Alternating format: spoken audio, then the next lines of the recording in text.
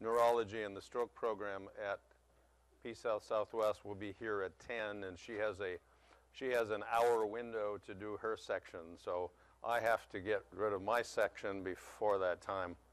So uh, as you as you know, that may be very difficult with me. Uh, we're going to talk about stroke today. A reminder on the board, March 13th at Peace Health is the trauma case review. Breakfast is served at 7:15, uh, and it's actually pretty good. Uh, but uh, the uh, uh, Dr. Timmons, you recall Dr. Timmons? She's the paramedic become trauma surgeon. Uh, she'll be she'll be providing the case, and it's a traumatic brain injury case, one of the cases that you guys brought in. So. Hmm? Yeah. okay. So, um, I'm going to go very fast through a lot of this stuff. Stroke. We're going to do stroke didactic this month. Next month in the skill sessions, it'll be stroke practice. Not that you get to practice having a stroke, you get to practice dealing with a stroke. Uh, you can practice having a stroke too, and then we can work on you. Stroke uh, kills about uh, 130,000 Americans every year. Uh, out of, and that's out of about 800,000 stroke victims per year in the U.S. Um, most of these are new strokes, but that means that 200,000 people have a repeat stroke every year. Uh, now, 87% of all strokes are ischemic strokes. Stroke is the leading cause of serious long-term disability.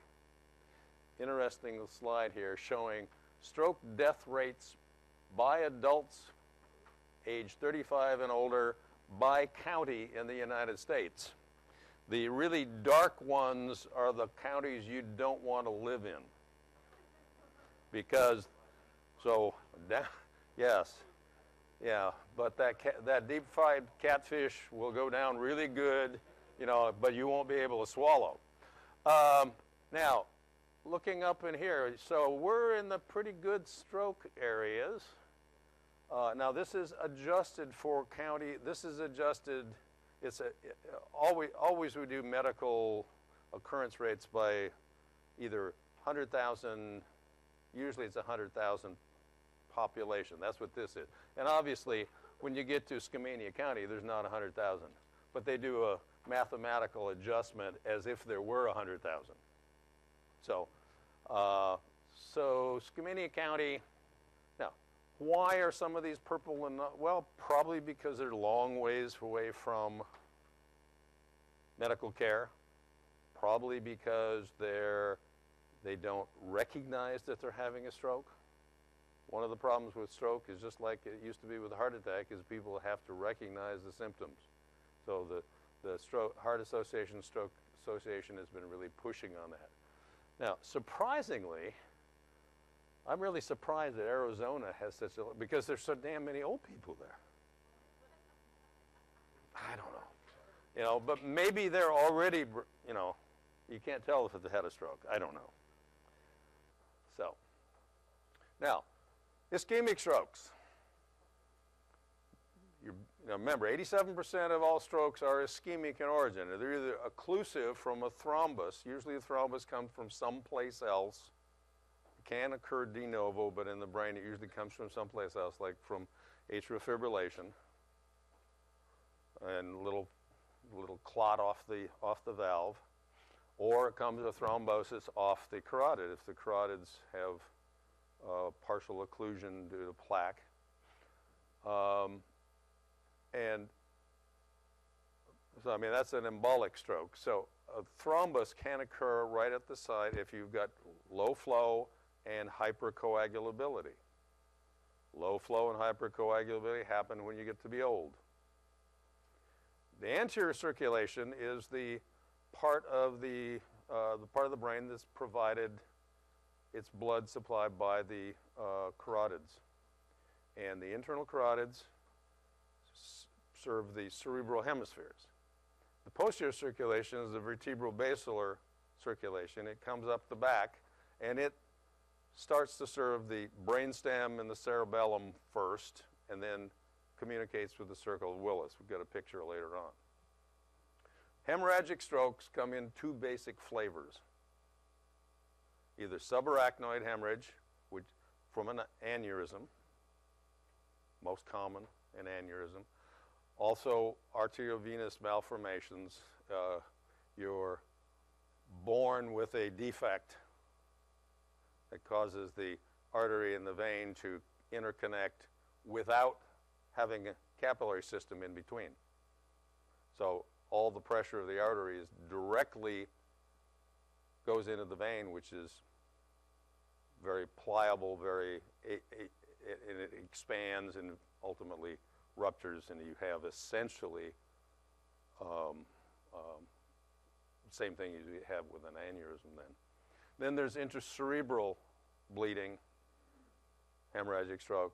Hypertension is the most common cause, so generally uh, with older persons or persons who have um, long-standing hypertension. And then in the elderly, the, there's a degeneration of the, of the artery called amyloid angiopathy, and, and that can rupture then to the, it's a weak vessel. Now, there's a few risk factors for stroke. Some are modified, uh, you can change, some you can't change. You can't change your age, you keep getting older. I mean, that is the best alternative. Uh, you can't change your gender. You can try, but you can't change your genetic gender. Um, race, uh, blacks, Latinos are a little bit uh, more likely to have hypertensive bleeding strokes. They're more likely to have diabetes. Previous CVA, once you've had a CVA, a stroke, your risk factor is doubled or tripled to have another one. You've already proven you can have one. And then heredity. Uh, there are certain things like the propensity to amyloid uh, angiopathy would run in families. Things you, things you can modify. If you're hypertensive, you can change that. You stop tobacco. Tobacco increases your risk of stroke about threefold. History of TIAs you have a history of TI, if you became blind one day in one eye and then all of a sudden, and then it went away, you really should get worked up to find out where, that, where, your, where your stroke's going to come from. Heart disease, obviously uh, AFib, there's a bit of controversy right now because after the age of 75, you know, people who are on atrial fibrillation, we commonly have them on Coumadin, and now the newer, the newer anticoagulants, uh, for a, a number of reasons, but this is to stop the possibility of, a, of an embolic stroke uh, from that valve. After age 75, your risk, you begin to have a risk-benefit issue that your risk of falling and having intracerebral bleed from, from being anticoagulated is probably greater than your risk of having a stroke if you haven't had a stroke up to that point. If you don't have diabetes and you don't have hypertension, probably you, you know, there's a thought that we maybe shouldn't keep you on anticoagulants after age 75. Now, other things, if you're hypercoagulable, you have a chance more likelihood of having a clot. So if you have, uh, and, and, and, things like pregnancy, cancer, uh, recent surgery increases the risk of de novo coagulation. And so you could end up with a stroke.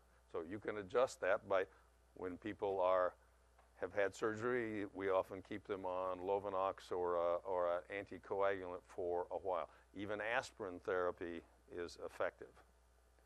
Sickle cell disease, uh, which is very rare around here. Uh, if you have a history of carotid bruit, uh, that means you've got uh, plaque and you've got a narrowing of your carotids.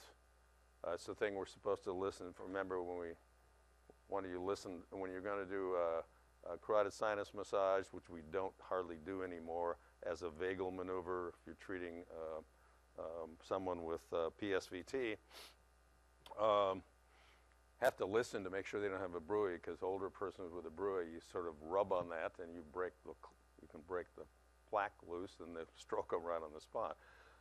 It means, however, that with the narrowing, with the bruit, you've got a narrowing, you've got a, a risk of a stroke that needs to be taken care of. Now, in ischemic strokes, and we're going to talk mostly about ischemic strokes, um, it's involved, so if your stroke involves the anterior circulation, the carotid circulation, this is characteristically, this, this is where the stroke presents as unilateral para paralysis on the opposite side from the stroke. So you stroke on the left side, you're paralyzed on the right because there's a crossover at the, uh, as everything leaves the brain. You have numbness also on the, other, on the opposite side of the stroke, but it's on the same side as the paralysis. If you stroke in the uh, hemispheres that are involving uh, hearing and language, so mid-temporal, you're aphasic, which is difficult comprehension, uh, nonsense speech, uh, difficulty in reading and writing. They can, they can read, but they can't, they can't articulate what they read. Uh, dysarthria, slurred speech, abnormal pronunciation. And then you have, uh, you, can have you can have visual disturbances with uh, strokes in the, in the anterior circulation, carotid circulation, and monocular blindness on the same side as the stroke. That's from an occlusion of the optic nerve, basically. That eye becomes blind. Now, in the vertebral basilar circulation, primary symptoms are going to be vertigo, visual disturbances because it's supplying the occipital cortex, so both eyes are affected simultaneously. And because of uh, often at the, the where the where the nerve the the um, uh, where the nerves pass out of the optic chiasm, uh, you can have uh, in, in, the brain you can have diplopia because the uh, uh, one one eye is basically somewhat palsied, somewhat paralyzed, so it moves out of sync with the other one, it develops central diplopia. Or disconjugate gaze, it's asynchronous movement. We all know about disconjugate, we see disconjugate gaze often after seizures, but also after strokes. And that's involving the vertebrobasilar system. You can also have paralysis, numbness, dysarthria, and ataxia because the, because the the posterior circulation and the anterior circulation communicate with each other in the so-called circle of Willis. Willis was a neuroanatomist who described this so that you have, if your vertebral basilar system is plugged up, you can get some collateral flow back through the circle of Willis and feed anterior to posterior and the same work. If you have, if an, and your anterior carotid is, is uh, uh, thrombosed, you can get circulation from the other side and from the posterior circulation. It keeps us going most of the time. Hemorrhagic strokes, subarachnoid hemorrhage, the symptoms of subarachnoid hemorrhage may be sudden, severe headache. Now that's the classic the so-called thunderclap headache. It happens so suddenly. And it's also always described just like the migraine patients always come in and say, it's the worst headache I've ever had. Well, it's not in their case, but this is the worst headache you'll probably ever have.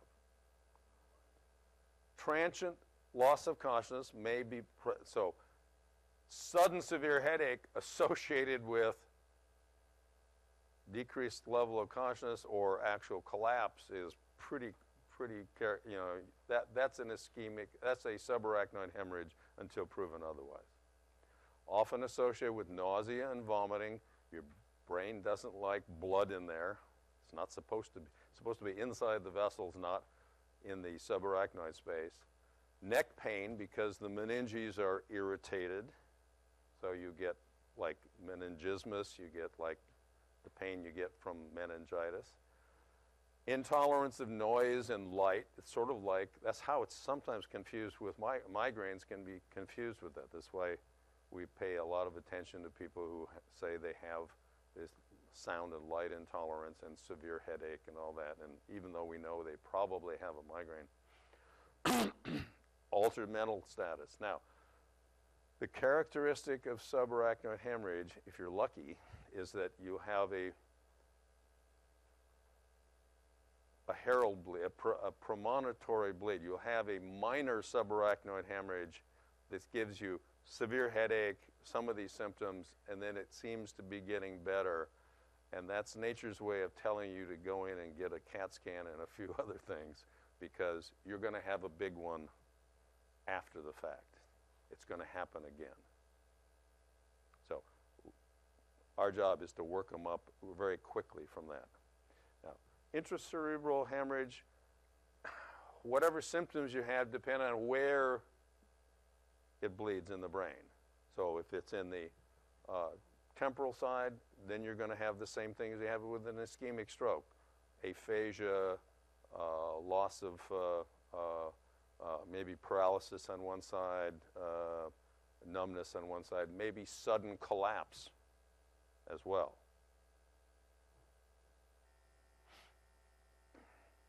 A lot of things we consider in the differential diagnosis of stroke. Head and cervical trauma. Obviously, you have to. No, so you're. It's a confusing thing if you have somebody who's. You find someone old who's down. They've fallen. You don't know if they hit their head, hurt their neck on the way down. We have lots of lots of old people with. Uh, and by old people now we mean more than 55. Um, a couple of us here. Um, but yeah, you don't know if you don't know if they if they. We have lots of older people who who break their necks, who have intracerebral bleeds because of the medication they're on. Um, men, so you have to protect their neck. Meningitis, encephalitis can cause symptoms of a stroke because the brain is infected. Hypertensive encephalopathy, you can have stroke symptoms without having the stroke yet. We know that. That's why we treat some persons who have hypertensive encephalopathy but who don't have focal neurologic finding. We don't, we don't bring their blood pressure down quickly. If someone has just confusion, no focal neurologic findings, and they're frankly hypertensive, we try to lower their pressure slightly to improve that. Intracranial masses, uh, tumors, uh, epidural and subdural hematomas can cause stroke symptoms, but direct pressure on the brain essentially is causing ischemic stroke symptoms by compressing the, the, the uh, blood vessels. Now, Todd's paralysis is an interesting thing. One of the differentials is if you, patients had a seizure, then they will have temporary, this says a brief temporary paralysis on one side of the body, essentially stroke like symptoms. Seizure, paralysis and numbness on one side of the body. Now it says brief, but I've seen it go for three days. Now, how do you know that? that so, what we do now is we do more evaluation and we don't use TPA on someone who has had a seizure at the same time their stroke symptoms presented. So, if the patient has a history of this, has a has had a seizure, if the if the bystanders say, you know, he was jerking and twitching and he and he was unconscious briefly and then he seems to be paralyzed afterwards, we will not use TPA on that person. They will get further workup to determine if they really do have a stroke or if this is Todd's paralysis, because we don't give TPA just for fun. Migraines can cause, you can have a paralytic migraine, they can, have, they can, they can be paralyzed on one thing, you lose vision in part of their visual field. Um, uh, so migraines are one of the rule out if they have stroke symptoms. Then there are metabolic problems, hyper, hypoglycemia can cause stroke symptoms. Hyperglycemia to some extent, but hypoglycemia certainly can. People can be semi-comatose and, and have decreased, uh, and they essentially have paralysis. Post-arrest ischemia, so we don't generally TPA people who you've brought in because you've got ROSC and they're not moving one side. That's probably just because they've had a little ischemic brain uh, effect for that time period. Drug overdoses. Well, they're not truly paralyzed, but they're paralyzed, you know, from the drug overdose. There's a differential, there's a, a, a, little mnemonic that we use for the differential diagnosis of strokes. It's AEIOU and TIPS. Uh, basically, alcohol, endocrine, epilepsy, encephalopathy. I, there'll be a test at the end on this. Uh, infection, including sepsis, opiate overdose, any other overdose, uremia, uh, renal, uh, end-stage renal sepsis, if you will, um, trauma, hypogly- insulin, hypoglycemia, hyperglycemia, poisoning, psychosis. Psychotic people can act like they've had strokes. And then stroke, seizure, and syncope, even after syncope. So, our, our stroke chain for survival is detection, early symptom recognition, which is why the Stroke Association goes, you know, has public service announcements and things, and they go through. If you've seen any of them recently, they they they go through showing people who have um, what we use, you know, the the Cincinnati Stroke Scale to evaluate at home. To say if you have, you know, facial droop and, and, and slurring of your speech, you know, call 911. Don't wait. Don't call your daughter who lives in Arizona.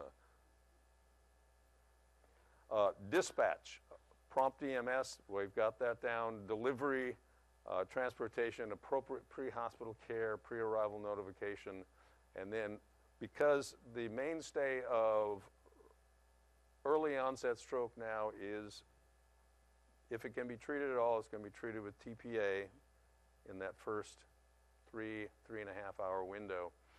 Uh, then we want rapid door data and decision to make to, to, to uh, do TPA or not. So, rapid decision making. Now, um, recognition, we have public education of stroke symptoms, early access to medical care. You have early, and we have early dispatch and pre-dispatch instructions. Um, and we have, we've been, they've been training the EMDs, the dispatchers, to recognize stroke symptoms more. Matter of fact, they go through a, a modified uh, stroke scale with some patients now. Our, our patients are improving. This is, uh, this shows the areas of the state. This is two years ago that were the initial uh, uh, signed up initially to the all the, the, the, hospitals and dispatch systems to to the uh, early stroke network uh, through the when the when the law was written two years ago that required stroke hospitals and stroke hospitals. If you say you're a stroke hospital, you have to prove that you can do be a stroke hospital. Now, for us in EMS, we do the FAST exam. Uh, face, normal, equal bilateral movement, abnormal, unilateral weakness or drooping. Arms, normal. Both arms move equally or not at all. Abnormal means one arm drifts compared to the other. Now, ideally, your patient is sitting up, at least in a semi-Fowler, and hands are out, palms down. Close their eyes. And if it drifts away, that's positive. That's, it. that's abnormal. That's a drift. Speech, normal speech, abnormal, slurred speech, inappropriate words, incomprehensible words. And then the most important thing is you do is establish time. Onset of symptoms or last known well. If they wake with the symptoms, we say now that, at least with uh, PeaceHealth Southwest, we'll say that that's the onset of their symptoms. It actually turns out probably to be so. That people, that that's what wakes them up, is the stroke. Now, if you get there and the person is laying is down on the ground, down on the floor, they can't move one side and they're drooling from the thing. You don't have to do the FAST exam. That's already positive. you don't have to sit them up. now, stroke. The person I just described, which you've all seen, they have potential airway problems because they can't protect their airway. There's some paralysis, often of the upper, upper airway. Uh, they're if they're drooping on their face on one side, those muscles in their throat are also somewhat paralyzed. They may be vomiting, especially if they have a hemorrhagic stroke. They may be in a coma, so they can't protect their airway. They may, they may be actively seizing while you're there, and they may have cervical trauma. So they need oxygen if they're under 94%. They don't need oxygen if their oxygen saturation is 98. Matter of fact, that may be contraindicated. It is contraindicated in a stroke, just like it is with a with a STEMI. You don't need, or especially with ROSC, you don't need 100% oxygen because you don't know how much that really is. And oxygen toxicity in an ischemically damaged brain is not good for you. They need an NPA or an OPA if they can tolerate it. Suction is needed. Put on the uh, on the paralyzed side if you know if you don't have to protect their neck or if you can protect their neck even in, in, in that side so they don't aspirate or they need to be intubated to protect their airway. Your job is to protect their airway. If you think it's an intracranial bleed and if their blood if they're if they're showing any signs of Cushing's triad, hypertension, slow heart rate, erratic breathing, then keep their, keep their uh, CO2 at about 35 max. They may have irregular breathing pattern, Cheyne-Stokes, central neurogenic hyperventilation. so, um, and they may be paralyzed. So you may have to aggressively manage that. Circulation problems with the stroke. Potential problem, hypertension, hypotension, and dysrhythms. Their hypertension, don't lower their blood pressure in the field. Don't attempt to lower it with nitro, nitrates, or anything because they've already got focal neurologic findings. They've got a stroke. You lower the pressure, you basically lower the intracranial pressure, and you have the more expansion of whatever it is that's the stroke is causing, either edema or bleed. If they're hypotensive, we try to get their target blood pressure up to about 100 to 110 certainly above 90, just like you will with stroke, with um, um, uh, trauma. Treat dysrhythms as needed. AFib is common, but they usually are in, all you do is look at their medications, they're on Coumadin, you know they've been on AFib. Don't try to convert the AFib. We don't shock them unless they're, well, I suppose if they're, if, if the problem is that if they're ticking along at uh, 200 in AFib, we might have to treat that. And treat that the way you would any AFib. If it's emergent, it might be, have to be shocked. Otherwise, we'd probably use diltiazem to slow it down. So, dysrhythms as needed, IV access, correct hypoglycemia, and prompt transport.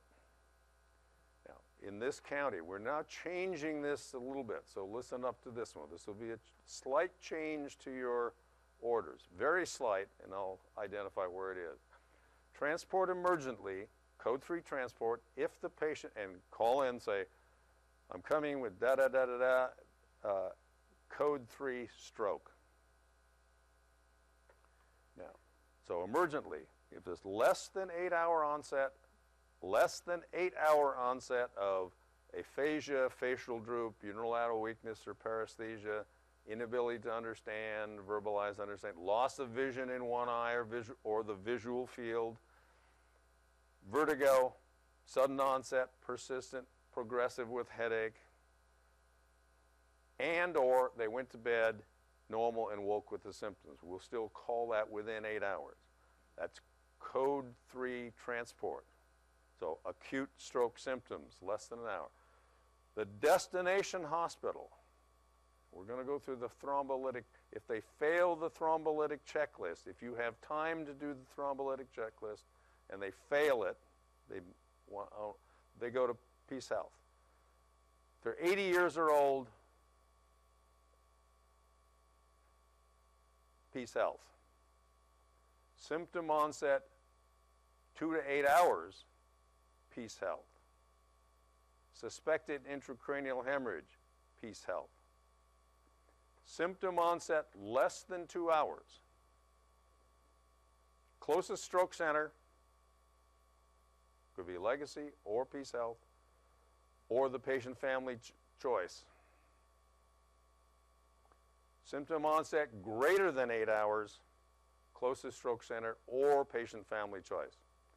Beyond eight hours, they're probably not going to get intervention or they're probably not going to get intervention or or and they're definitely not going to get TPA. The reason it's the two-hour thing is when you get to the scene, when you make first patient contact, you know you're going to take at least 15 minutes at the scene. I say at least, that's what I'm, you're supposed to do is 15 minutes at scene. And the average around here in town is going to be 15 minute transport to the hospital. So that's 30 minutes off the thing. Then we get 45 to, a, I know how things work. It takes about 45 minutes to an hour to get the CT, to get all the labs back, to get the CT read, to get the neurologist to evaluate the patient, and to get the drug up from the from the pharmacy to start TPA. So if the patient fits the criteria to be able to have TPA, that's an that's an hour and a half gone already. We have a three and a half hour window, so you get to have two hours on your end to say, yeah, I was normal at 7 o'clock, it's now 9 o'clock. You mean, okay, you can boogie. You can go to either hospital at that point.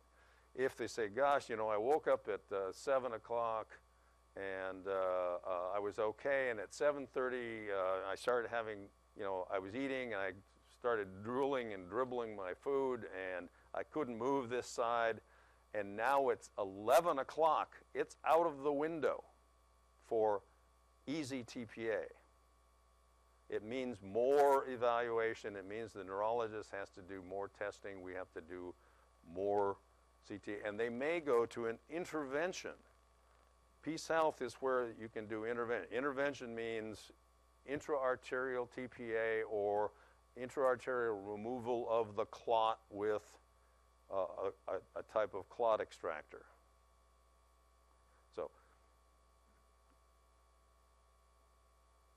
it was a lot easier when there was only one hospital, but that two, look at that two-hour window. That's what you need to take them to either hospital.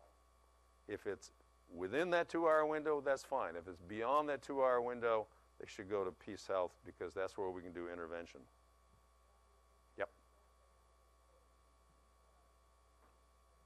Uh, stroke centers in Portland would be primarily uh, Providence and, well, actually, the main stroke center in Portland, the one that we that PeaceHealth refers to when they have an interventional case, is OHSU. But both Providence and Legacy, um, Good Sam will do interventional stuff as well. And, hmm?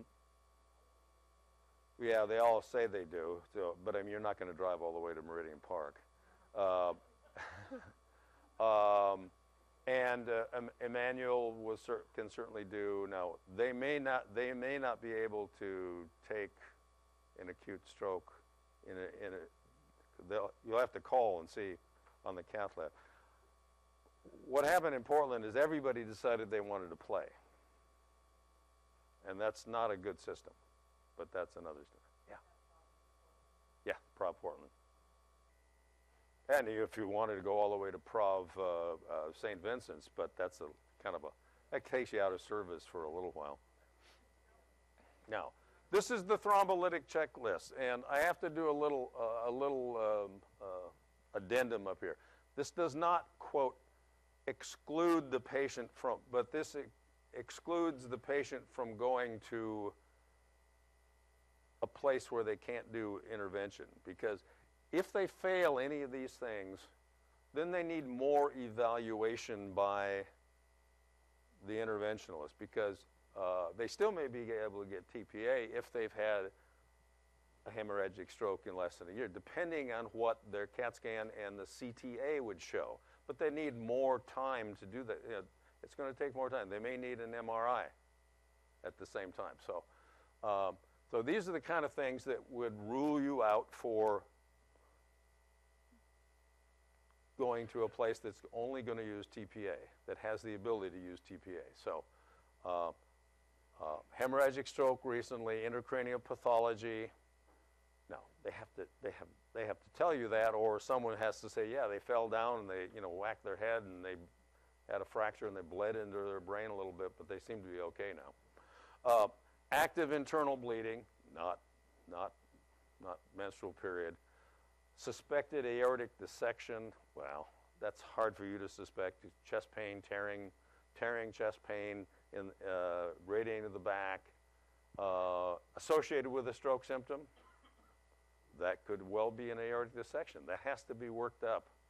But you probably want to take that to a place where you can do major workup. Uncontrolled hypertension, current use of anticoagulants, and we have a case. Uh, we have a case I think we're talking about that. Well, there's a recent case I know that we couldn't use uh, uh, we, that they couldn't get uh, uh, TPA because they they were too anticoagulated from their medication. Um, recent trauma, major trauma, not I fell down and sprained my ankle. CPR, prolonged, major surgery, recent internal bleeding, known allergies, jaundice, hepatitis, kidney failure, which we would work up. That would not necessarily exclude them, but they need probably interventional stuff. And terminal illness and pregnancy, we probably don't. That, that's the decision of the patient, the family, and, and the specialist. But you probably want to be at a place where you can have major intervention if you need to. Remember, the stroke team is going to need more information, usually medical aids, particularly if the patient's not conversant or if they have aphasic speech. So we want the patient present, if the, uh, the, the family present if possible. if it's not feasible to bring a family member in with, get a phone number that they, and tell them to stay by the phone. Critical actions for you, assess and support cardiorespiratory function, assess and support blood glucose, assess, support oxygenation and ventilation, assess neurologic function, you're fast, determine precise time of symptom onset, determine essential medical information, emergent transport to the appropriate ED and notify the ED that a possible stroke patient is en route. Code 3 stroke. Now, when you get there, you should be met by the nurse and the ED physician within, within moments. The problem, now, because your code 3 stroke will go out as a code 3 stroke page, but it will not become, at least at PeaceHealth, will not become a Neuro 911, which is our code for calling the whole team. So you get a small team, you get the ED doc, the nurses, uh, and lab techs, uh, CT is put on standby, and the physician will do the initial evaluation and the initial his his or her initial evaluation is much more complicated than yours and it's more refined to sort out this these whether this is truly a stroke or not a stroke. They may then call this a neuro 911 which steps the process up and gets the stroke neurologist involved now often the stroke neurologist is in the department at the same time, and they'll just walk over from whatever they're doing when they hear a code 3 stroke. They, they may then say, no, this doesn't fit neuro, for whatever reason, this doesn't fit neuro 911. This patient will not go, to, will not get TPA. We need to do further evaluation and possibly interventional stuff, but they'll work that out. In the ED, in the first 10 minutes, they're going to do reassess the ABCs, vital signs, provide oxygen as needed, IV access if you didn't already have it, get the blood samples for CBC, electrolytes, and the coagulation studies, whether they're on or not on anticoagulants. Get a 12 lead if you don't already have it. You probably have it. They'll get another one. Put them on a monitor. Check the sugar if you hadn't done it before alert the stroke team, and they're going to perform a general neurologic screening assessment. And this is a, you know, I, am not, I'm just going to explain this one. You don't, you're not expected to know this one. We haven't taken this out to the field yet because it's fairly, it's quite involved as, you can, as you're about to see. This is the National Institute of Health Stroke Scale, NIHSS provides a quantitative measure of stroke-related neurologic deficit, and it's something that can you can you can compare at you, so you do it at different times, and you compare the results as you're going along to see if the patient's improving, staying the same, or getting worse. And there's good interrater correlation here, which means that if I test you and come up with an NIHSS score of eight, that means one of my partners will test you and come up with a seven or a nine, and so it's, it's close. Or they'll come up with an eight. It also predicts short and long-term outcome. And we use this as a data collecting tool too. It's 11 items. And number 1A, level of consciousness, and it goes from zero to three. Zero is alert, keenly responsive, and three is responds only with reflex motor or autonomic effects to stimulation. So they're basically unresponsive or flaccid. Not good. Level of consciousness questions. Ask the patient their age and current month. Zero answers, both corrections correctly. That means you have to know both their age and the current month. And two, answers neither correctly. 1C, commands, level of consciousness, commands. Ask patient to open and close eyes, grip and release the non-paralyzed or weak hand. They, so they follow commands, or they don't. Best gaze, that tests your horizontal eye movements. So they follow, they follow the, the light or the pencil. Zero is normal. Two is deviation or gaze paresis. One eye doesn't track.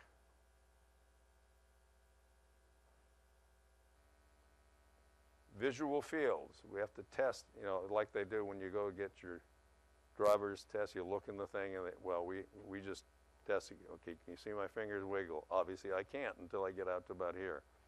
Uh, okay, right there.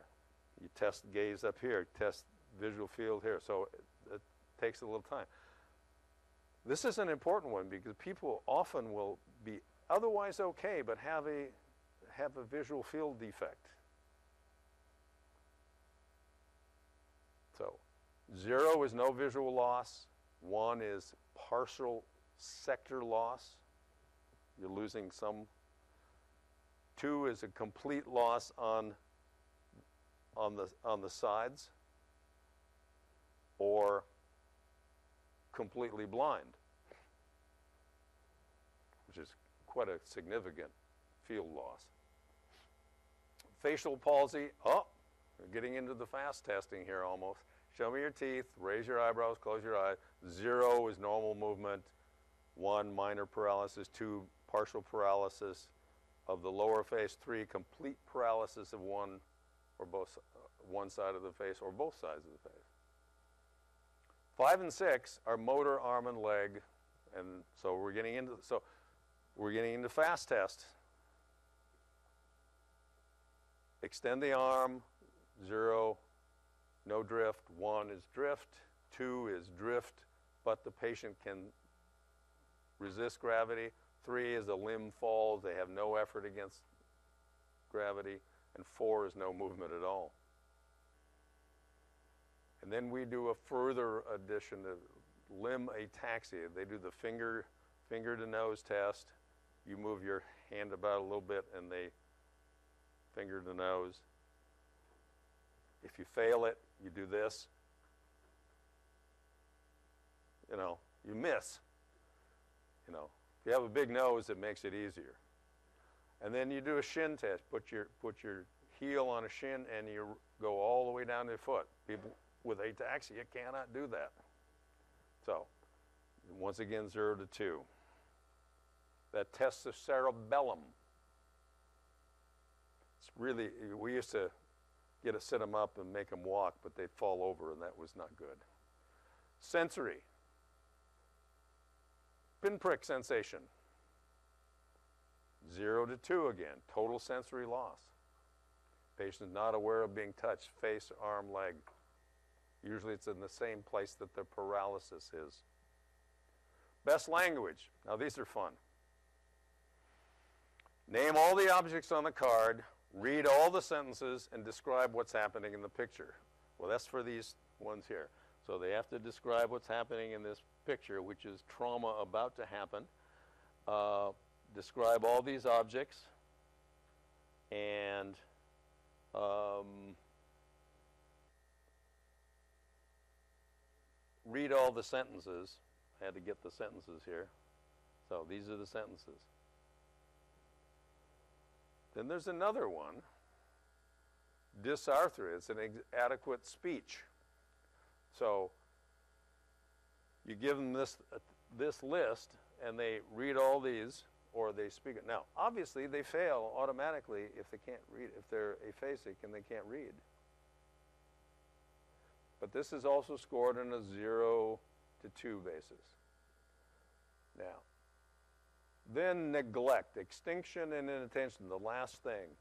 People with, sometimes with the stroke, particularly in the, in the frontal and temporal cortex, they will not, they, they have what's called neglect. They don't, they don't seem to be aware that they have a paralyzed side or they don't seem to be aware they have a left side of their body or so they they don't do anything with that. They just completely ignore it. If you put something over so they can, they, they're not paralyzed, but they won't reach for it. They won't even see it on that side.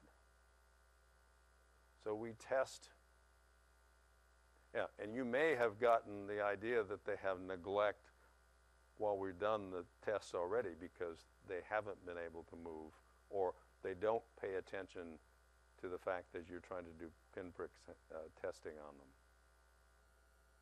Now, your total score is 0 to 42. Anything greater than 25 is severe neurologic impairment. 15 to 24 is severe.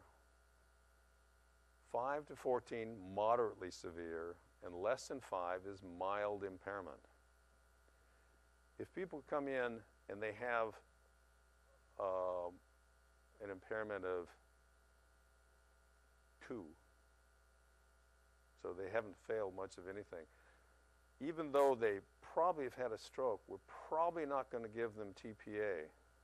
They're probably not going to become a neuro 911 because that's it's a dangerous drug, has side effects, mostly bleeding and things like that, and that's not much of a defect. People go home with less than five and they function at home. Um, now, a two point or greater increase when you re, when you do the test again, so an hour, I did the test, they come back from CAT scan, I do the test again, and they're two points worse, that shows stroke progression.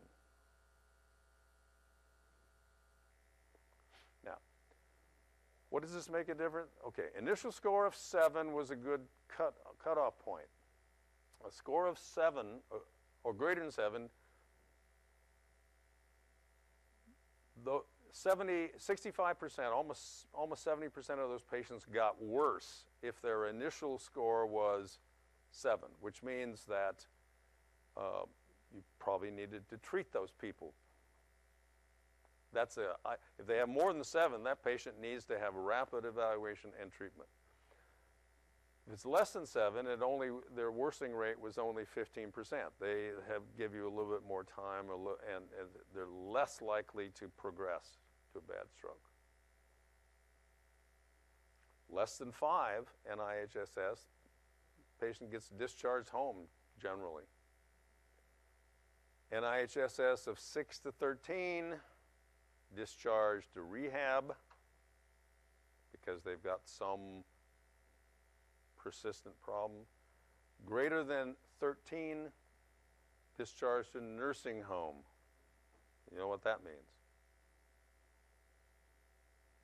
Now, with intracranial hemorrhage, more than 20 is a 70% likelihood of, that this is an intracranial hemorrhage. If it's, and of course we're going to know that anyway because of the CAT scan. If it's NIHSS of less than 20, it's only a 3% likelihood of, a, of, a, of this being an intracerebral hemorrhage. So when you arrive to the ED, they will do the NIHSS, and based on that, that's, that's your baseline. That's the baseline. They readjust, they recheck it several times, and this also goes, this also comes in real, if the patient did meet yes, this can have TPA. Then, then they get TPA, and an hour later, their NIHSS, which was 12 to say to start with, is now five or less. Hey, this is a win. They're getting better. Okay.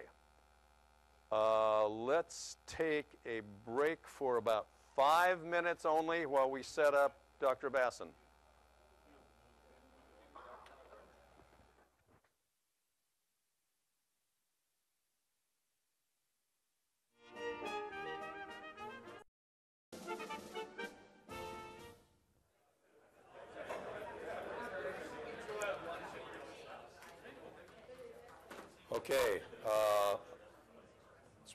Pleasure to introduce to, as a, a, a, in a return visit Uh, Dr. Cerise Basson, who is the, um, who is a neurologist and the head of the stroke program at uh, PeaceHealth Southwest.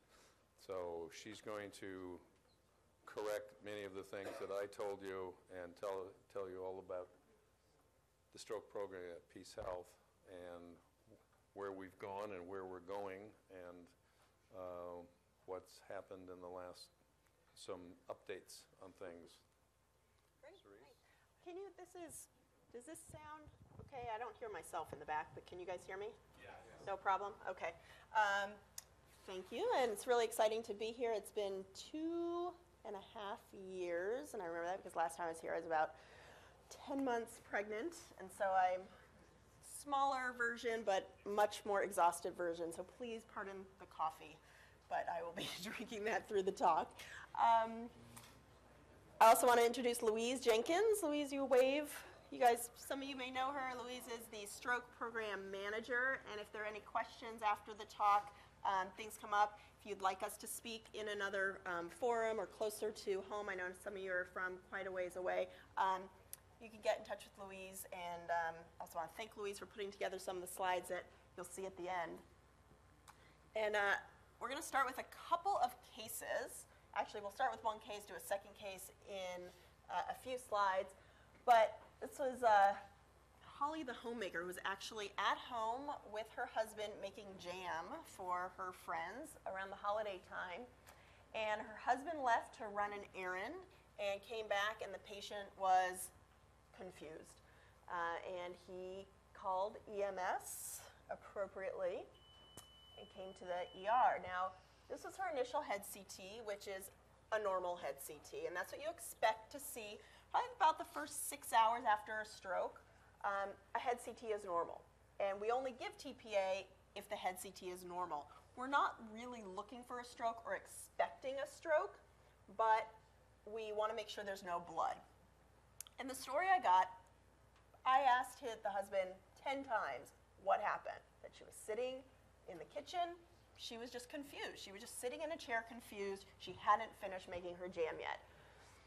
So we go ahead, we give her TPA. She's unable to talk. She's really agitated, but she just can't talk. Um, and within okay, 10 minutes of getting the TPA, she develops, I don't know if you can see here, this huge hematoma on her head. This just giant goose egg is growing in front of our eyes. And said, Are you sure that nothing else happened? And he said, Well, actually, no. What happened was I came in, she was on the ground on her head. I put her back in the chair. So, uh, unfortunately, she had pretty much received all of her TPA at this point, and a few hours later, this was her scan. And you can see this white material here is blood, and that's in her ventricles. And probably what she happened, she fell. She, a few vessels burst, and she got TPA, and she developed an interventricular hemorrhage. Um, fortunately, she was no worse for the wear. She actually didn't get much improvement from the TPA, but she didn't have any ill effect from this. But that's just luck. Um, but my point in bringing this case to your attention is that history is truly everything for us. And, you know, again, I, I tried really hard. I asked every question I could. I asked it three or four times, and he just didn't give me the history that I wanted. Maybe I wasn't specific enough. But it's where we really depend on you, person in the field who sees what's happening at the home. If you see something odd, if you see that the patient's on the ground, if you see that um, you know a lamp is broken, something like that, all of those pieces of information are really helpful for us. Um, the most important piece of information is last known normal time, and as you know, it's a really hard piece of data to get. And the reason is that when you ask a family member, if the patient's unable to talk to you, they're going to say, This happened at 10. And 10 is the time they found the problem. What we need to know is the last time the patient was normal, not the time they noticed a problem. It might be the same time. Sometimes these things are witnessed. Patient's having dinner, they stop using their left side, family says, I was there when this happened. But more often than not, the patient went to sleep and woke up with a problem, or with Holly, someone leaves the house, they come back. So the time that Holly was last normal was the time the husband left the house. We don't know if this happened 30 seconds before he got home or 30 seconds after we left. He left. We have to assume the longest time frame for the safety of the patient.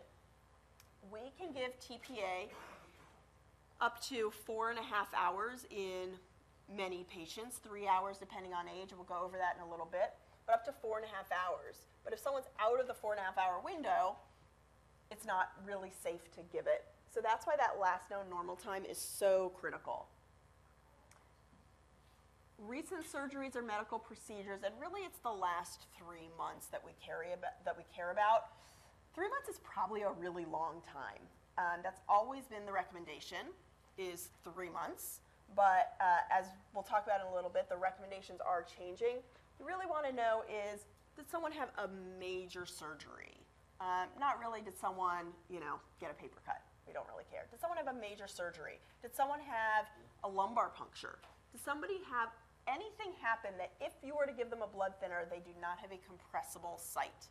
That's really what you want to get, get facts about. And so you just ask the family, has this person had any surgery in the last three months? Hopefully, a surgery will ring a bell. Um, severe recent trauma. And severe is, is severe. Again, it's not I hit my head on the cabinet. It's we, we know what severe trauma is. You were in the hospital, you passed out, uh, you needed surgery, you needed a blood transfusion. Um, we like to know about minor trauma. The lady that I just showed you, she probably wouldn't say she had a severe trauma, but her trauma happened an hour before we gave her TPA. Um, family contact. This is something that's really tricky. If a stroke patient cannot talk, we really can't give them the treatment they need without a history, and we can't get a history from them. So we depend on their family, someone that knows their history. And what happens is the patient comes to us, and their family gets in the car and follows you here. And they're not at the hospital by the time you get there because you go faster than they do. And we sit there and we wait. And they're in the car, so they may not be answering their phone, and, or they're out of phone range. And we have, on multiple occasions, not been able to treat a patient because we cannot find that family member. So what we usually ask in an ideal world is that the family, someone, the person that knows the patient the best, knows their medical history best, to stay at home with the phone. It's really hard to tell a family member that, and we get that. They want to be with their loved one in the hospital. But they're going to be the most helpful if they stay at home by the phone until someone from the ER calls them and says, okay, you can come in now. Because we can't do anything without history if a patient can't talk to us. And then a complete medication list. Um, obviously, if you can get that when you're at the house, sometimes people keep it on their fridge, in their purse, whatever. Um, and if you, there's one question you're going to ask, it's, are you on a blood thinner? Um, we do not consider aspirin or clopidogrel, which is Plavix, we don't consider either of those a blood thinner, although it's helpful to know. Um, so if they say, yes, I am, you want to know, what is it? Because if it's aspirin, I don't care. Um, but blood thinners, for obvious reasons, make us very worried. We don't want to give TPA, which is one of the strongest blood thinners known to someone who is on a strong blood thinner. It used to be really easy the only blood thinner that we knew about was warfarin or Coumadin, and we never give TPA if the INR is greater than 1.7. So a patient would come in, we would check an INR, 1.8, great, we're done, you can't get TPA, or 1.6, you're in, we're, we're in business. But now there are a number of other blood thinners, and we can't easily test for them. So these are the, the ones that you will most commonly see. Eliquis or apixaban is the new favorite for atrial fibrillation, stroke prevention, atrial fibrillation. Pradaxa, um, still a lot of patients getting Pradaxa out there, but becoming a little less popular. And then rivaroxaban or Xarelto. Sometimes people are on these for um, other reasons. DVT, PE, someone had a knee replacement, hip surgery. Sometimes they're on these for a week to prevent a DVT and a PE. But Eliquis is becoming more and more popular as the first line for prevention of stroke with atrial fibrillation. These are the um, sample packs. Okay, so sometimes someone they haven't really started it yet, or they just got a dose from their doctor. And I want you to take a good look at these because if you see anything like these around the house, please bring them in. Please just grab the package and bring it in. Um, it's really, really helpful. Again, there's no quick blood test. There is a quick blood test for Pradaxa. It's called a thrombin time, and we can check that pretty quickly. Um, but if we don't know the patient's on this, we would never check a thrombin time. It's really expensive. It takes a while. It's a special test. Um, if we know, then we would check it. If the thrombotime is out, we can't give TPA. If they missed their last 10 doses, then uh, we can give them TPA. But Eliquis, Xarelto, Pradaxa, there's no generic yet for these, so that's why I'm using the trade name. Um, almost all of them have an X sound in it, if you want to get that right. Several, several of them are 10A inhibitors, so um, and Pradaxa is a direct thrombin inhibitor, but these are both apixaban, rivaroxaban, have an X, very clever 10A inhibitor, so Roman numeral 10. Um, but again, please keep your eyes open for these. It is critical information.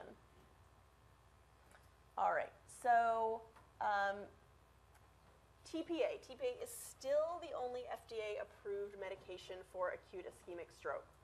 It's been years and years and years. It's kind of crazy how the cardiologists have developed a whole handful of other things they can use. We still really are left with TPA.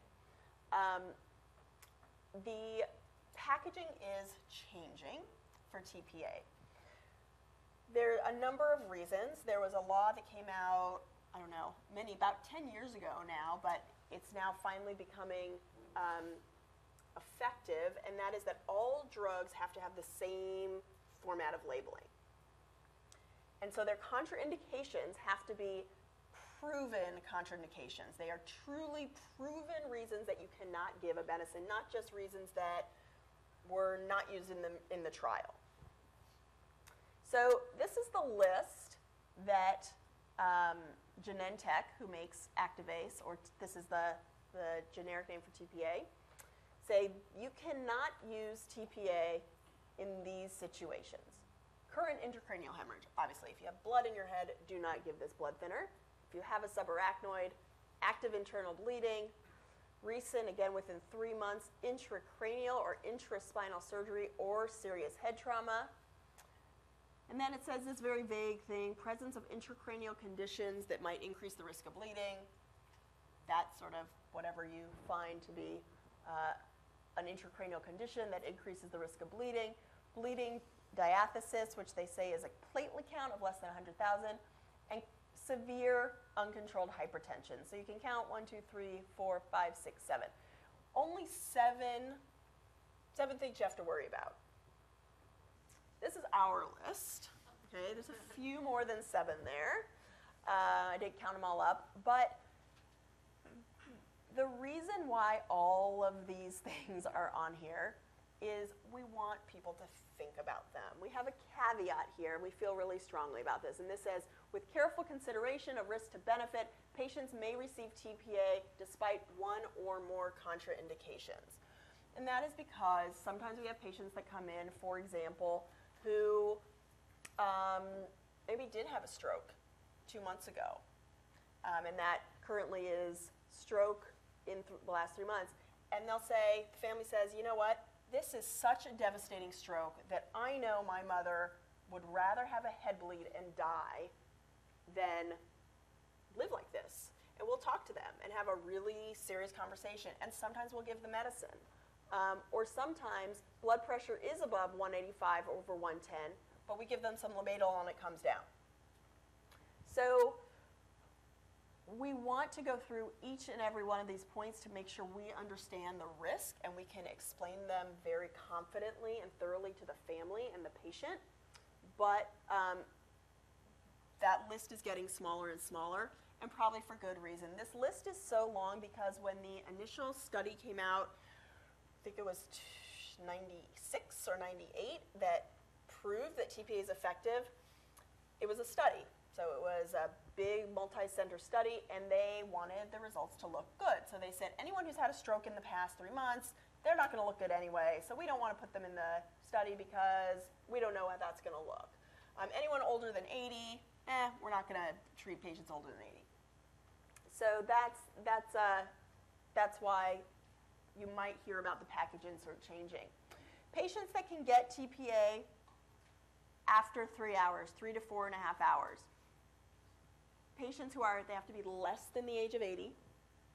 Um, they cannot be on any oral anticoagulant. So let's say they're on warfarin, but the INR is 1.5.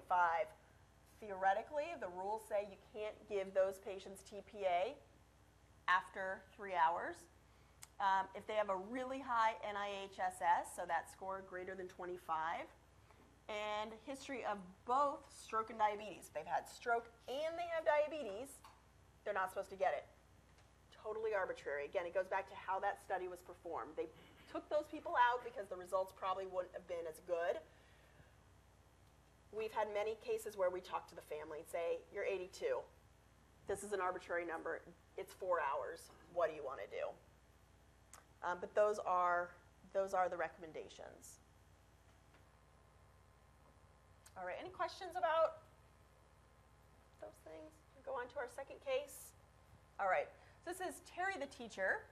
Um, some of you may have heard of this case. It was in the newspaper, but uh, in the interest of confidentiality, I won't say anymore. This is a, a young lady. She was 40, 40, um, teacher, uh, worked for the school system, and she's talking, she's in her office talking to a student actually about college plans, and suddenly can't talk. Um, and then becomes unable to move. She just, she's sitting in the chair and she can't talk, she's staring, she cannot move anything. And this sort of came and went. Then she would start talking again, and then she'd be able to walk, and then she couldn't move, and these sort of fluctuating symptoms. And the student actually immediately was the one who said, Something's not right with this lady, went to the school nurse, um, had to be carried into the front uh, lobby where EMS was called. And in the ED, she's perfectly fine. She says, I don't know what happened. I couldn't talk, I couldn't move. She walks to the bathroom, she comes back, and then she does it again. And she's just acting really weird. She goes to get a CT, she becomes comatose, stops breathing, and gets intubated. She's totally healthy. She has no real medical problems. She does see a chiropractor for neck pain and had a neck manipulation. She said the chiropractor had cracked her neck some point in the last few months. Otherwise, is a really healthy person. This is her head CT, and it really, on first pass, looks totally normal. There's no blood. There's, for those of you that aren't familiar with looking at head CTs, you have to sort of reverse it in your head. This is the right, this is the left. It's like you're looking underneath the patient up. So you have to reverse here the eyeballs, the sinuses, the back of the head. And this is the basilar artery. What looks bright white on CT? Density, right? So, heard a few murmurs over here. Bone and blood, right? Bone and blood. And that includes thrombus. So, a blood clot looks bright. So, here's bone, it's just the base of the skull, and then this nice bright white dot. Someone who's 95 years old with a lot of calcium in their vessels might look that way too. But you'll look at other vessels and they also look bright white. Someone who's 40 and healthy and doesn't have any risk factors, it's subtle, but their basilar should look like this, which is essentially the same color as the brain. This looks the same color as bone.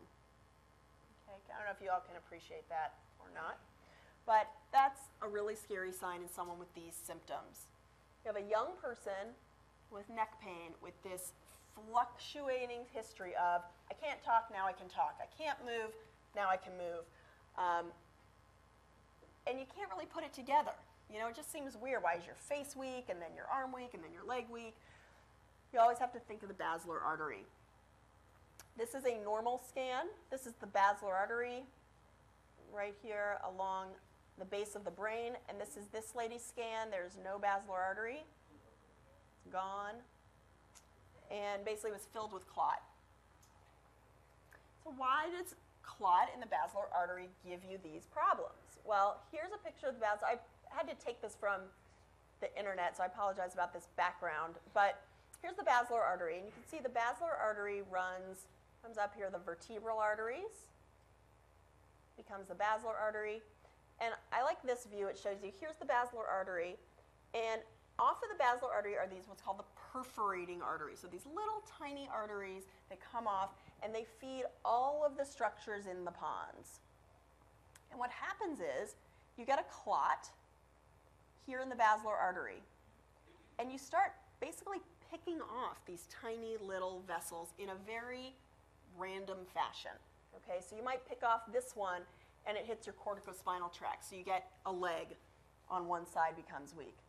And then as this clot starts sort of moving up, becoming bigger and bigger, you're going to pick off another one of these little tiny arteries, and maybe you'll hit your facial nerve on the other side.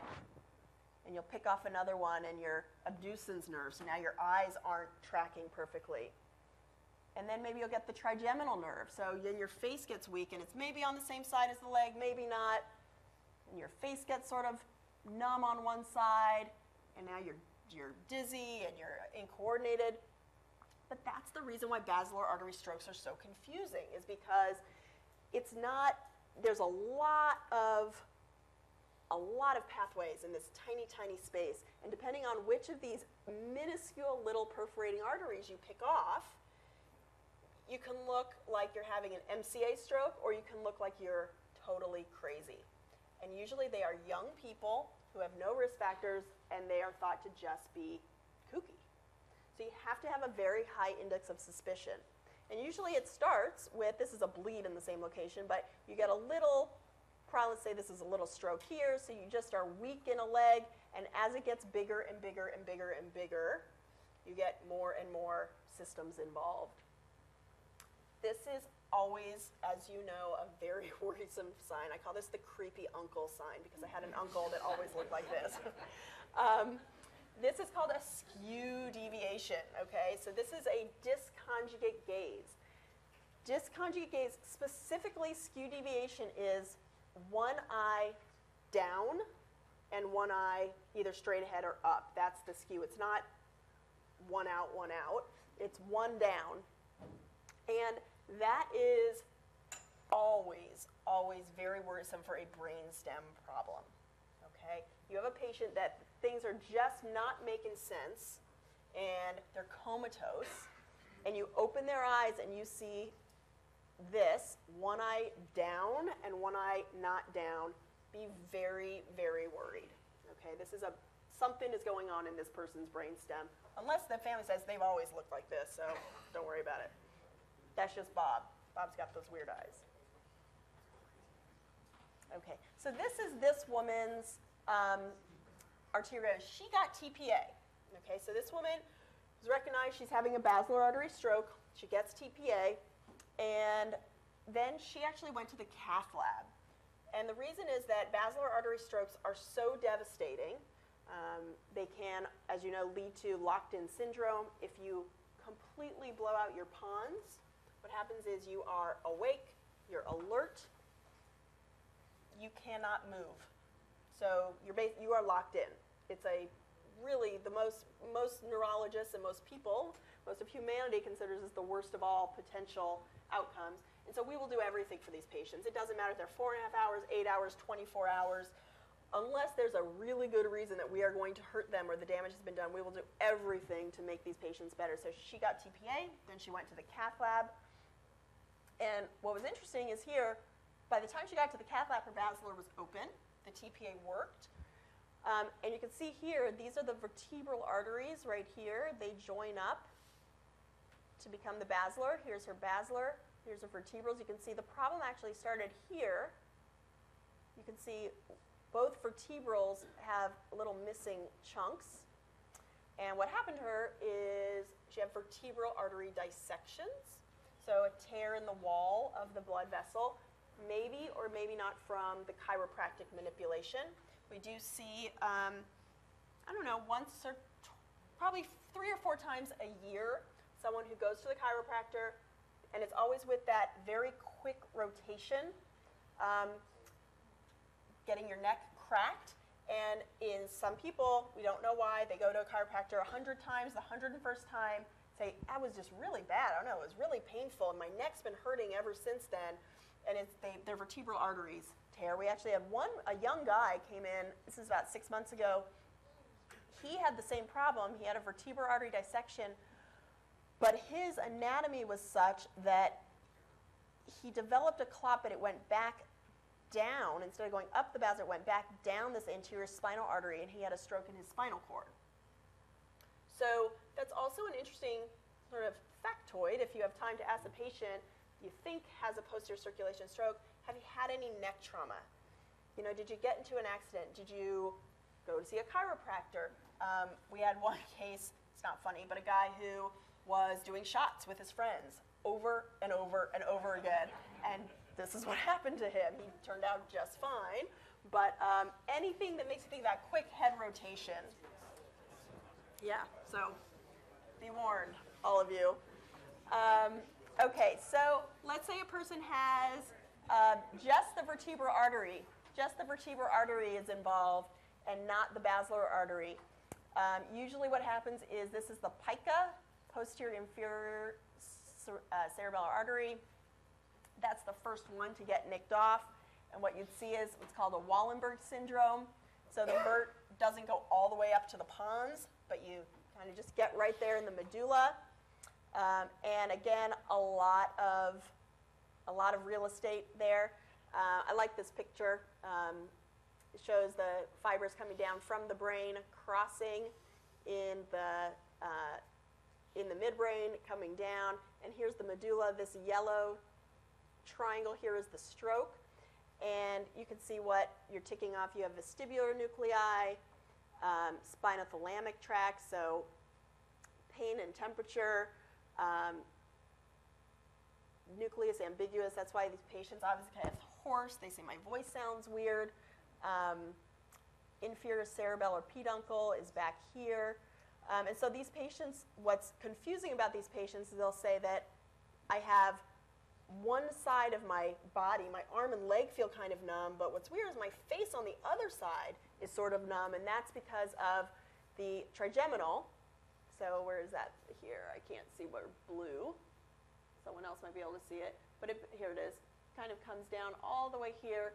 The trigeminal tract, so you get face on one side, body on the other side. And these are also patients who people say, that doesn't make any sense. It has to be all on one side of the body or you're just kooky.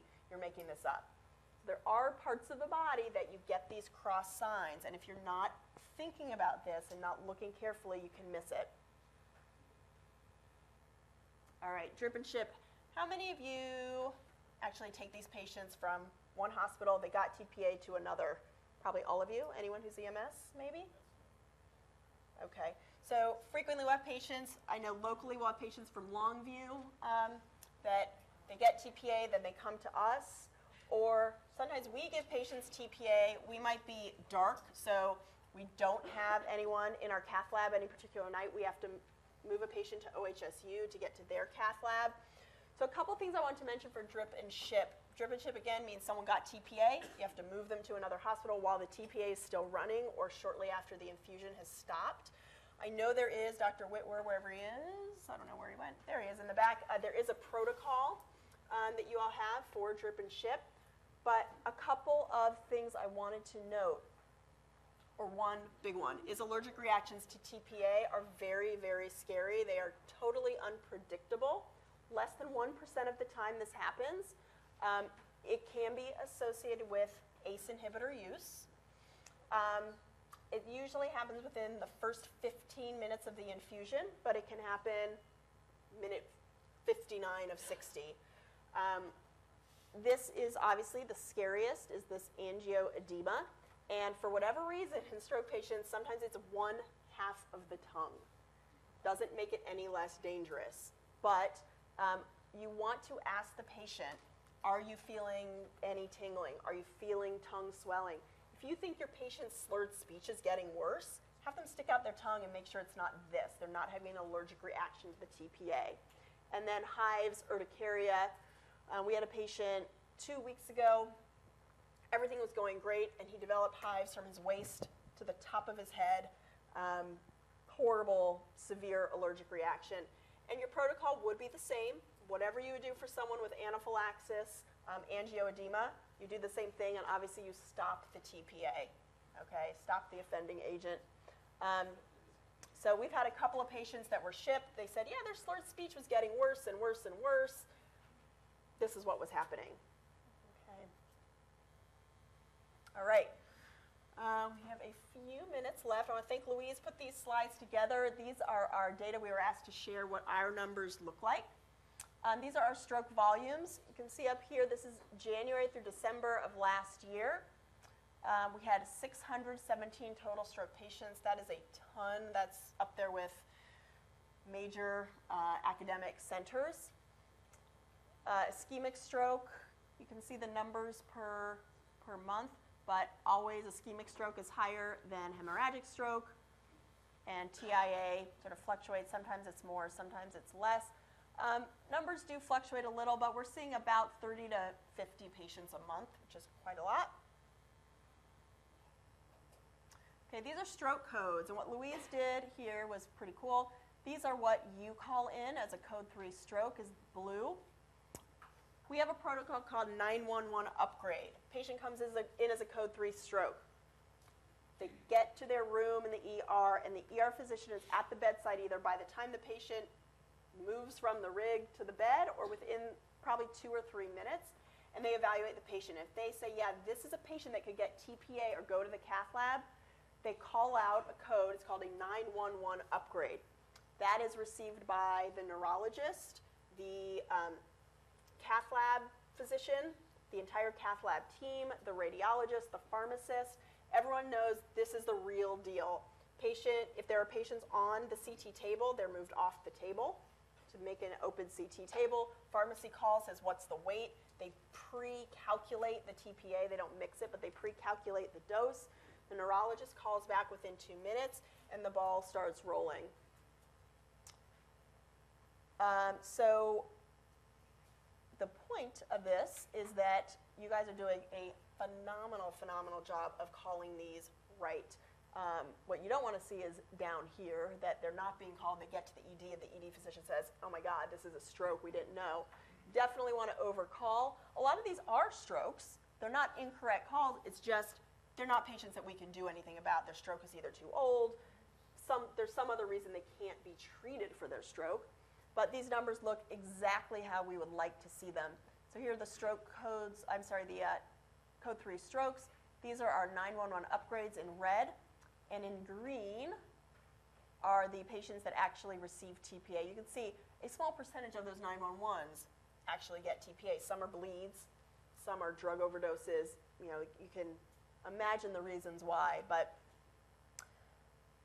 these are the percent of stroke codes receiving TPA. So it's about, you know, varies month to month, but up to 34% of the stroke codes that you guys call get TPA. That's huge. That's huge. Um, so anyway, we want to congratulate you. You guys are making our lives much easier, making the patients' lives much better by calling those when you see them. These are acute interventions percent, um, and this is sort of a three quarters of a year, January through October 2014. These are the numbers of acute ischemic strokes that we get in. Um, again, these are three month blocks, and this is just two months. We don't have the data full yet from, from uh, December. But you can see 119 patients. This was a banner quarter. Um, but 70 this so far in October and November. These are the patients neurointervention. By neurointervention, these are patients that go to the cath lab. Few of the patients go to the cath lab. Few patients get TPA. But overall, between 10 and 20% get intervention. And again, we think that is actually pretty similar to major academic centers, having 20% of your patients with stroke getting interventions. Let's talk about the cath lab. We had some questions about how do we know who goes to the cath lab, who doesn't go.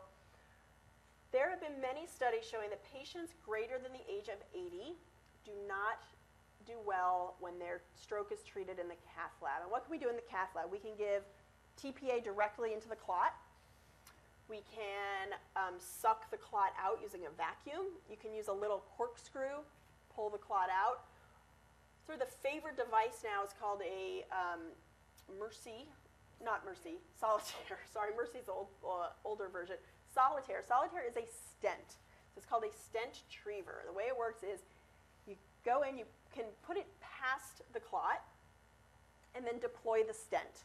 So it opens up, and the struts stick in the thrombus, and it stays there for about a minute, and then the entire stent, open, is pulled out with the clot hopefully attached to it. A Couple nice things about it. Number one, once your stent is open, you have blood flow.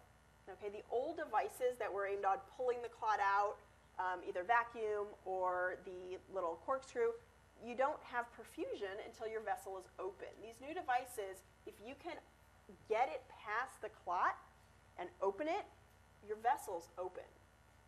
Okay, so they are immediately restoring blood flow. Um, doesn't always work. You can't always get past the clot. You can't always get the clot out. But our results have been very, um, very reassuring that this is the technology that we want to use. Greater than the age of 80, study after study have shown those patients overall, as a group, do not do well. So our criteria are basically if a patient comes in and they are less than the age of 80, they will get a CT scan and a CT angiogram. If that angiogram shows a clot, they go to the cath lab. Patient is over the age of 80, they do not get a CT angiogram. Sometimes you get a really robust 90 year old. They are totally normal. They have no risk factors. They were golfing an hour ago.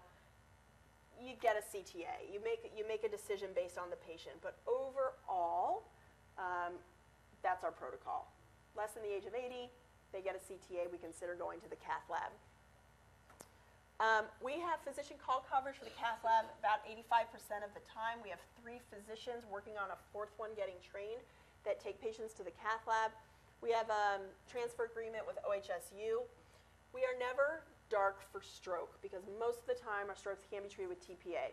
So we give patient TPA, we decide they need to go to the cath lab. If we're dark, we will send them to OHSU.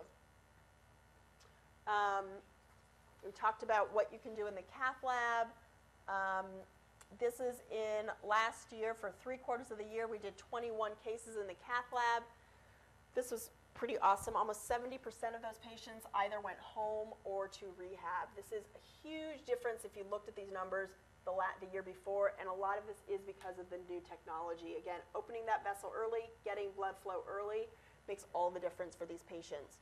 14% of these 21 patients went to SNF, 10% went to comfort care or hospice, and 9% died in the hospital. Uh, this is our overall program data. Uh, these are the percent of stroke patients discharged home. Red is hemorrhagic and blue is ischemic.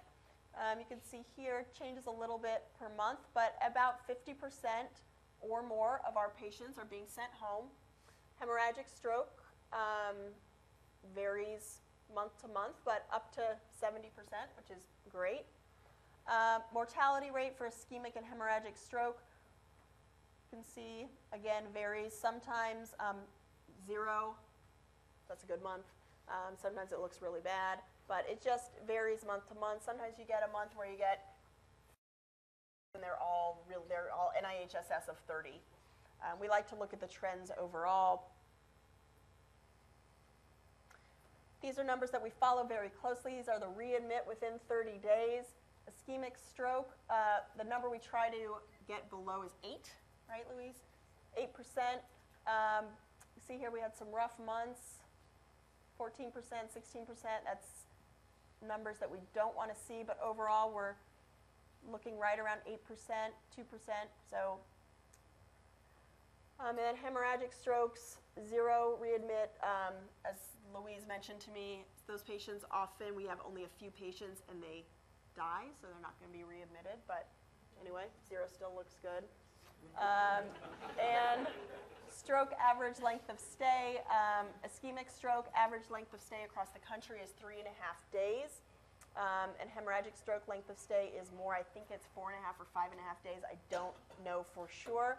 But um, we're staying pretty close to that. We don't push patients out of the hospital. What we don't want people to stay unnecessarily. They get bed sores, DVTs. They're not getting the rehab they need once they leave the hospital. Um, and so we want patients to be where they can rehab the best, and that's not usually in the hospital. So we do watch this number carefully. we're doing a pretty good job of getting patients to where they need to be to improve from their stroke. And that's it. What questions do you have?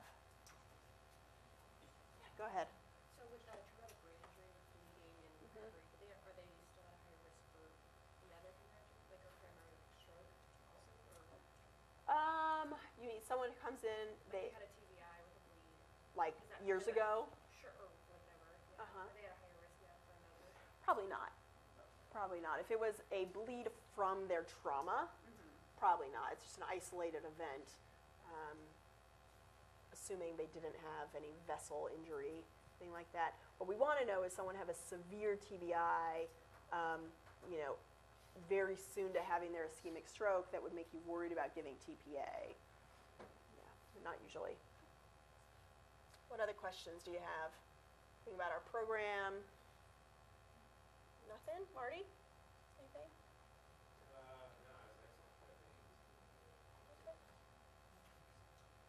The, uh, the history, like, uh, Dr. Bassett said, is really critical, and I just want to emphasize that. The timing of the, uh, the event, uh, just for us in AED, as far as making these critical decisions and activating. And it's, it, it's a big consequence to activate this system, because it gets a lot of people involved, uh, so we take it very seriously.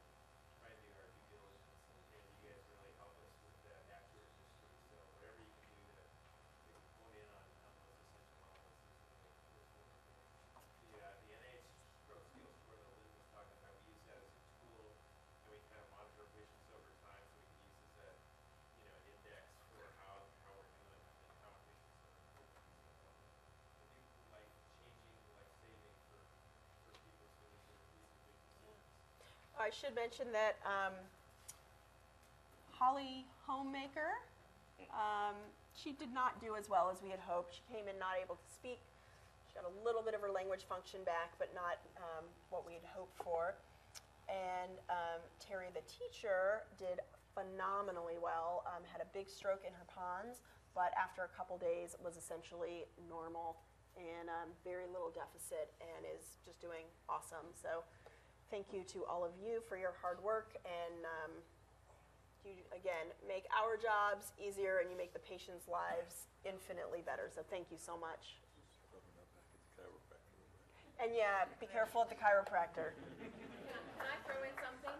I just want to give you a heads up that we're working on a process improvement right Thank now you. at the hospital. And one of the things we're working with, with Dr. Whitwer is a direct to CT, uh, process. So you'll be seeing this come in, we're gonna, we're working on the process where the patient would be, you bring them in, code three stroke, and they wouldn't leave your gurney, the doc would meet them somewhere, we haven't determined where, give them the quick once over, roll them to CT on the gurney, get them on the table, and then you guys would be able to leave. So we're working on that with Dr. Whitwer, so more of that to come, just wanted to give you a heads up. Okay, well, uh, any, oth- any other questions for Dr. Beck, for Dr. Bassett or for Louise? Okay. Oh, a question? Thank you.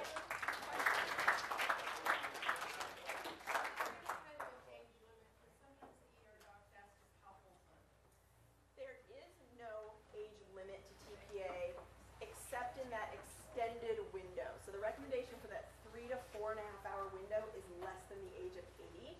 But for the traditional zero to three hours from the last time you were normal, there is no age limit. We've given it to patients over the age of 100 many, many, many times. So for all of us, they would go up three and let you guys take. Absolutely. Yep. I'll always go code three. Do not let age be the decision maker. Absolutely not.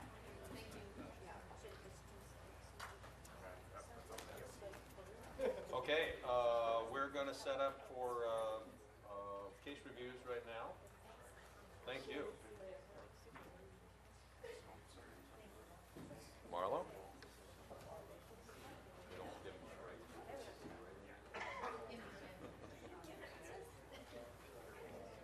She lost the little fuzzy thing. Don't worry about it. Here's the.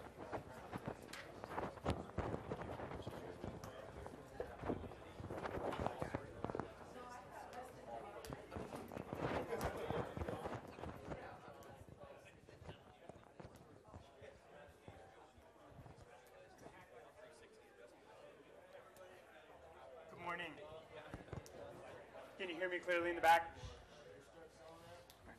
So just a few case reviews. Uh, we'll review the criteria for some of the ongoing studies, and then we'll be done. So case number one was uh, the crews were dispatched code three on a CVA, and um, it was a 55-year-old woman, 80 kilograms, uh, lying on the floor, ABCs intact, um, with obvious left-sided paralysis.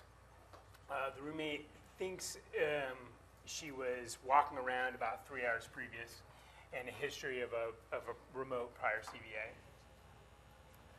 So the, um, this is the, uh, the documentation provided very, uh, very appropriately uh, documented the time, uh, time last seen normal, the GCS, um, EKG and blood glucose. And so trans, transported code three is a stroke alert with some slight improvement in the left-sided droop, um, left-sided movement, and uh, facial droop. So in the hospital, was uh, found to have an acute ischemic stroke in the right MCA territory. Um, once uh, some additional history was gotten from the uh, from the bystanders, just determined to be barely outside that TPA window. And then with the CT angiogram, it was discussed, just too far to be uh, to be intervened on um, was a Kaiser patient, ultimately was transferred to, uh, to Sunnyside for additional care. But, uh, but ultimately, ultimately did well. But again, as you've heard multiple times today, the emphasizes the critical importance of the history, getting bystanders who can provide as much history as able. This is, you know, you can see this is one of those, uh, that small number of cases not amenable to intervention just outside the TPA window. Case number two uh, was a 55-year-old woman uh, complaining of difficulty breathing, asthma attack, uh, but the crew arrives to find that the patient is pulseless and apneic. And so CPR was uh, started immediately. Um, this was also a very large patient in a small place. Um, and so continuous CPR, um, placement of the i-gel. And so they, this but even with a large patient, the initial resuscitation was able to be done with the gel. Uh, patient was able to be oxygenated and ventilated, and then return to spontaneous circulation. Appropriately, gel removed, ET tube placed um, to get a secure airway, given that the patient was still appended. And then uh, transferred, got some ongoing sedation, uh, some treatment for reactive airway disease, which was probably at least a contributor to the arrest but still comatose. So assisted ventilation. Um, you can see that initially the, uh, the i-gel for, uh, for intubation, and then um, visualization documented very high end tidal CO2 consistent. So this is a patient who's going to be very have, have a severe respiratory acidosis because of an obstructive um, because of an obstructive process, so very, very acidotic, and also hypoxemic. Uh, but you can see with, uh, with the ventilation, CO2 is coming down, pulse ox is coming up, um, and then for appropriately for large patient, padding under the shoulders. Um, it's not specifically documented here. Remember that keeping the, uh, the nasal cannula on a patient like this who's hypoxemic is going to give you more time uh, to, uh, to get the tube. And then verified, um, continuous CO2.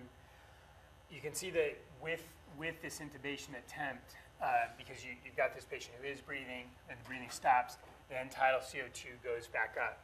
So these are patients that, especially patients like this that are very acidotic, they're at high risk for rearrest when you're reintubating them. So it's important to keep that time as short as possible. You can fix the hypoxemia with the cannula, but that doesn't uh, fix the respiratory acidosis. Um, but then good bagging, um, getting closer to eucapnic with an end-tidal CO2 of 35, but still a GCS of 3, um, some sedation, maintaining this around 30. In this case, you know, be permissive, but in the, somewhere in that 30 to 35 range is where you want to keep uh, keep a patient like this. But as you're doing this, you're fixing uh, you're fixing their respiratory acidosis.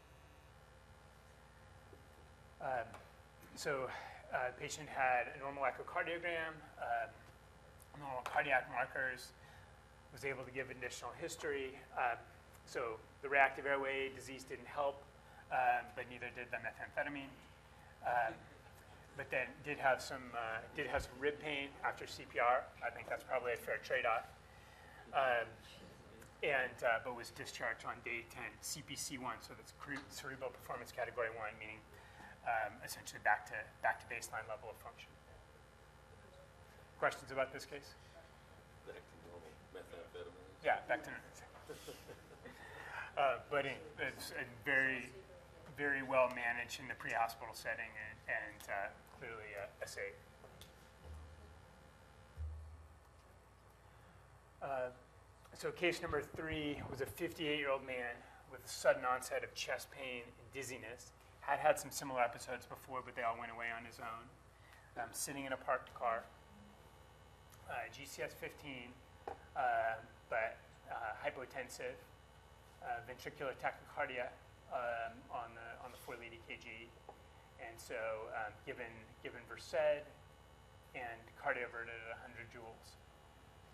Um, then uh, again, given Versed, uh, cardioverted at 150 joules, uh, goes into goes into cardiac arrest, uh, defibrillated, non-synchronized 200 joules. Um, but then, uh, as uh, as the crew is attempting to support his respiration, still has gag, unable to take an oral airway, um, still in ventricular uh, tachycardia.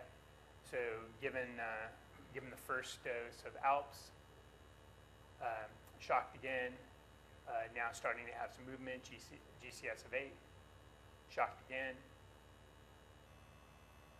and, uh, and then given ALPS number 2, again, another shock at 300, um, and then IGEL, the attempted passage at the IGEL, um, but patient, patient was gagging at this point. Um, hypoxemic with an end-tidal CO2 44, and uh, but then now, after this, uh, now in a sinus tachycardia. And so here are some of the strips, and then GC, GCS rapidly improving. So, and then here are some of the some of the strips, and then what uh, what he ultimately uh, ultimately came to. So this patient had an inferior wall STEMI. Um, and so, and remember, with, with the inferior wall, that's where you get, you're getting, um, you know, the, so you see someone who's hypotensive. There's a large amount of myocardium at risk. This is not an uncommon presentation, and occlusion of the circumflex artery. Um, it was very small. They were unable to revascularize it, so he's uh, managed medically, had dual AICD placed, but he did well and, uh, and was discharged six days after admission. Um, this, this guy seemed to improve pretty rapidly during the pre-hospital course. Um, you can consider um, you can consider RSI if uh, if you've got ROSC, but the patient's still gagging and comatose. But if he's rapidly improving, you can manage him um, without without an invasive airway, as the as the crew did here, and uh, and you did very well. Okay. So reminders about the ALP study. Um, so we're doing it for non-traumatic out-of-hospital cardiac arrest. Um, known um, a exclusion criteria, open label IV amiodarone or lidocaine. If the patient is taking oral lidocaine, that's not a contraindication. Uh, remember the protected populations and, uh, and anyone with a no study bracelet. So the, um, this is a question that's come up. So um, anything that the patient had on them when the arrest happened, so an ICD or life vest, that does not count as a shock. So an AED shock, um, a shock delivered by any EMS personnel does count as a shock, but ICD and life vest do not count as a shot uh, because we, we don't know what that, what that initial rhythm was. Questions about that? And so the goal is to give the study drugs within 10 minutes or less after arrival. Remember, it can run in the same tube with epi. Um, so only for tiny patients, you're giving just syringe 1A, otherwise you're giving 1A and 1B. And then, uh, and then calling the enrollment number. This is, I was just talking with uh, one of the cardiologists about this. I mean, they're, they're very excited, even for their in-hospital practice, to have the results of this study. Coming into what's hopefully the last year of this study, um, we're still in the metro area, by far the leader in enrolling people.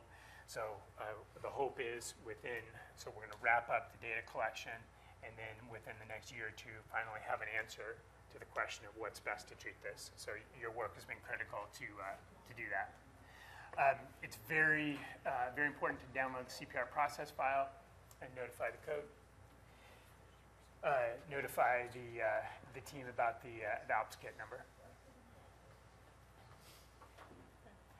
And then finally, the sudden unexpected, sudden, sudden unexplained death study uh, is for, this is, applies to the transporting agencies, and this involves drawing blood on patients who have sudden cardiac arrest. Um, not in, this does apply if you get ROSC. Just the only addition to the ALPS exclusions is that overdose is not, ex, um, is not included in this. And this is looking for the genetic markers so we can predict who's at higher risk for sudden cardiac death. The tube gets labeled, um, and then ultimately should make it back to the headquarters of the transport agency. And that's all we have. Uh, thank you very much. Great. All right. Next, next month is skills month.